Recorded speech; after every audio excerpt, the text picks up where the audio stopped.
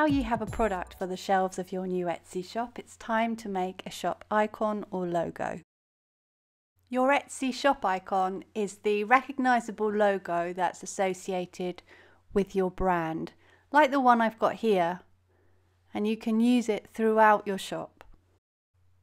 Okay, so let's head over to Canva to get started. And the first thing we need to do is to put in our brand colors. So click on brand kit, navigate down to brand colors, and you can see that I've already put in two of my colors. So I just want to quickly show you how to do this.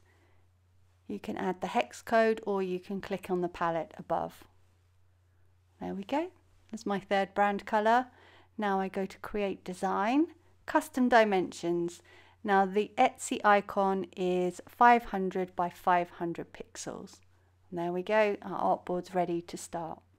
So Canva have lots of icon templates you can use. I'm going to try this one. First thing I'm going to do is right click and scroll down to ungroup and this way I can access each of the elements separately. Next, I'm going to change the text by highlighting it and typing in my shop name and then just readjust by dragging these handles and positioning it. I'm going to change this to my shop tagline.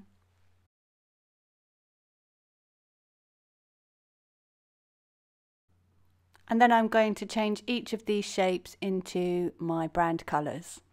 In case you missed it, I go over how to set your brand colours in the video in module 2, so take a look at that if you need to.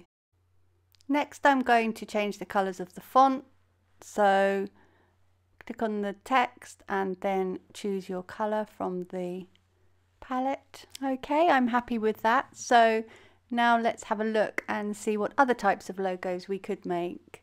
So add a new page and I'm going to use the elements section and have a look at all of the different graphics that you can use here. Now if I scroll down there was one down here that I'd like to use. There it is, the butterfly. So I can position it and then change the colour to my brand colours then I want to duplicate the text, Control or Command D, drag it into place, and then Control Command D again, and I'm going to separate the two words and change the size until I'm happy with the result. Yes, I think that's cute. I'm happy with that. So now I'm going to try another one. And scroll down through these pictures and there was a bird. There he is. I really like this bird. I want to show you how you can change the colours of these graphics to match your brand. So you just click on the different colours and change them to your brand. There we go. It looks really effective.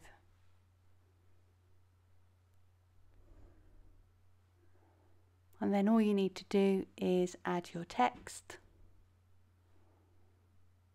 And it makes a really neat logo or shop icon. Lovely. And another one. I saw a tiger down here that I'd really like to use. Yes. So in the same way, I'm going to change the colours to my brand colours.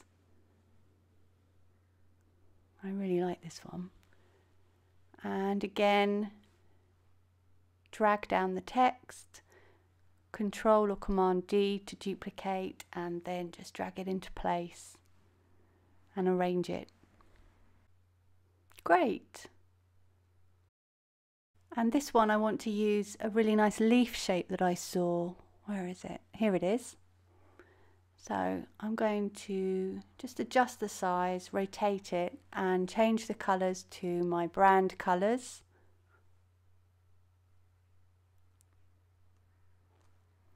And then duplicate the text again like I did before, Control or Command D and position the text.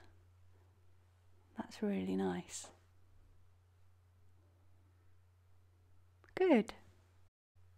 And then finally, I wanted to show you can type into this search box what you're looking for. So I want to make one this time with a paint splat. Here it is. So I take that, I can position it, change the colour, and then add my text to the top. Control or Command D to duplicate the text, and then drag into place. Wonderful. So now I've created a few logos, I'm ready to download them and then I can choose which one I'd like to use for my shop. So you go up here to the download icon and you want to choose PNG, click on download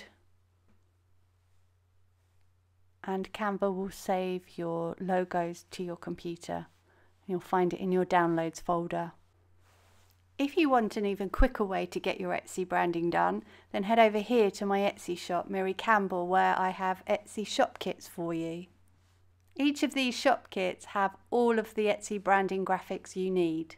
All you have to do is choose one and then type in your shop name and you'll have instant shop icons, banners and branding. It's easy peasy. So you're welcome to pop over to my Etsy shop to take a look at those if you like. So congratulations!